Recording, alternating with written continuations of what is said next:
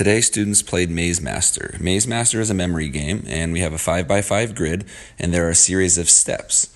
And we have one master who has the grid in their hand, and the rest of the line is not allowed to look at that grid. And as you see on our four square, we have it chalked out in the five by five formation, and students can either step straight ahead, they can step side to side, or they can step diagonally, but they cannot step backwards.